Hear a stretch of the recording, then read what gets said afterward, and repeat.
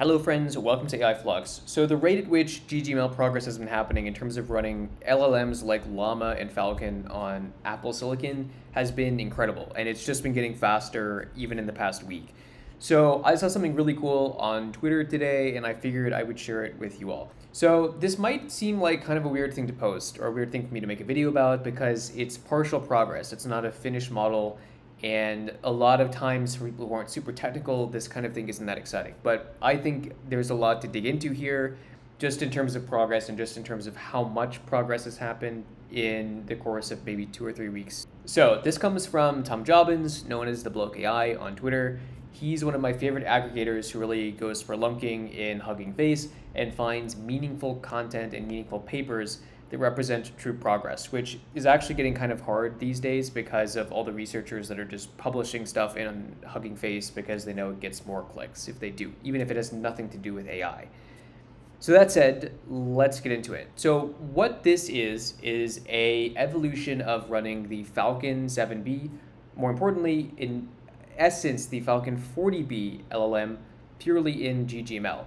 Now, this isn't specifically on the CPU cores or the GPU cores or the neural engine, but this is running with PyTorch and um, doing it all on Apple Silicon, which is the entire point of GGML. And the progress that's happened with this is kind of crazy. And although there isn't a demo yet, technically speaking, uh, in the notes of this and in sort of the process of the developers working through some issues and some blockers, they do allude to the fact that it is now in limited ways possible to run Falcon 40B on Apple Silicon and not the M2 Ultra like the M2s you can buy right now, which is kind of crazy. So, all this is happening in GitHub and I will link to this below. So, what this is is someone saying initially I've added a, sort of a new novel way of running Falcon 7B, and I gave an example. So in the developer world or the software world, this is kind of how you show your work and get people to take what you're doing seriously. So this is uh, basically a fork of Falcon and its implementation in GGML, which is this ggerganov master branch. And it actually started from some work that was being done with Llama. So the developer who worked on this mostly is a page 43 or Paj 43.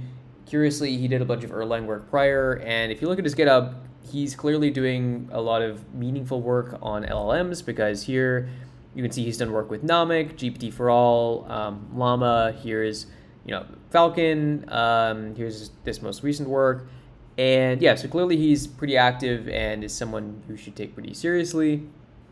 And the dates here push back about two weeks, but I'm going to highlight some of the more interesting bits. So what's interesting is he talks about the biggest blocker here being this ggml repeat function. And uh, in a rough way, he alludes to finding a sort of hacky way of um, caching and improving the way that this model reaches into weights, gets what it needs, does some computation, and then gets a result. Um, that is a grossly like wildly overdone abstraction as to how a lot of these LLMs work. But um, from a hardware perspective, a lot of it is just how it's reaching into memory, how much memory it's using, and then what it's using that memory for relative to the work you're getting done uh, and the output, which is you know text or prose, what have you. So uh, one really important thing to note here is that the scope of 40B on M2 and Apple Silicon right now is incredibly narrow. So the idea, again, that you're getting the full scope of the model or the full capability in a broad sense, that is limited when you're running on M2 still. However, the fact that it's even possible is really, really impressive. Or the other GitHub user that's kind of important here is um, Jan Ploski.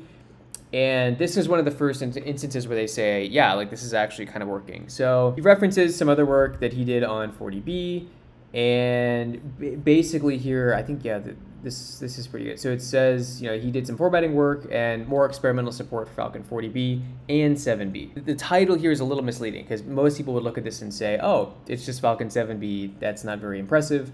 But the important thing is the model for accessing memory and actually addressing weights that have been uh, tuned for ggml has been modified and then someone tried it with 40b and it kind of worked so uh, here says, uh, after making my head nearly explode several times, which is a developer that's a relatable uh, thing to go through, Uh, says, I reached a point where it generates okay sounding prose from the Falcon 40B mini Shakespeare model. So this is the form of Falcon 40B that was actually working.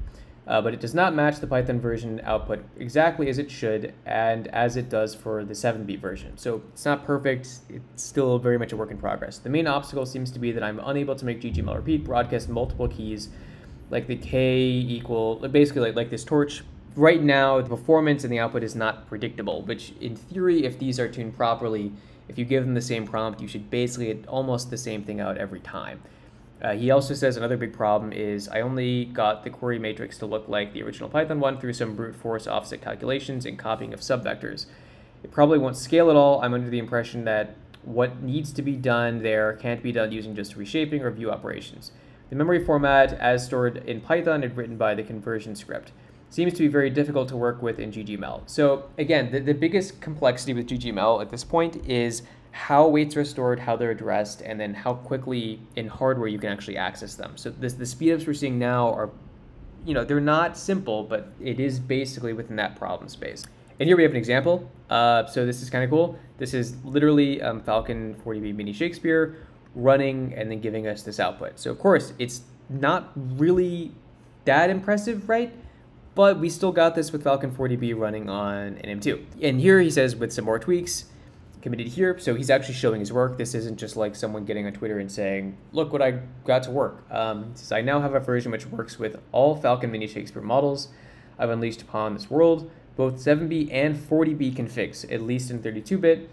Haven't tested quantized yet. So basically that would be a smaller version of this. The remaining problem is the for loop based splitting of query heads, which I suspect is going to blow up with a real big model either being slow or exceeding the max number of tensor, around 4,000 allowed by GGML or both.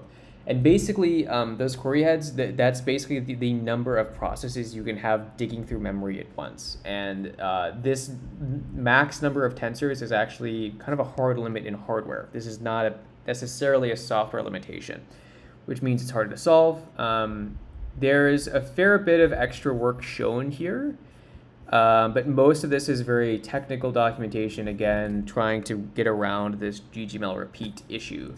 And if we go to the bottom in real time, um, they're, re they're ready to merge it. Um, effectively, what they've ended up here with is a new version of GGML. So they're calling it GGML Repeat 2. And basically this concept is called um, MQA or multi-query attention. And this is what they're calling this new means of actually querying memory and is roughly how it is even able to run on GGML on M2.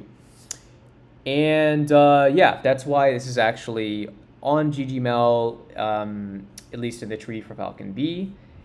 And again, this might seem really boring, and let me know in the comments if it is. But this is how progress is made, and this is how we end up eventually getting to the cool, um, you know, demos where there's like a cool terminal and someone doodling around with an LLM locally on their Apple Silicon. So I'm going to link to all this in uh, the description below. If you learned something from this, uh, let me know in the comments. And again, if you like our content, please like and subscribe. It means we have to make less YouTube shorts that some of you seem to kind of not like. Uh, but anyways, we'll see you in the next one.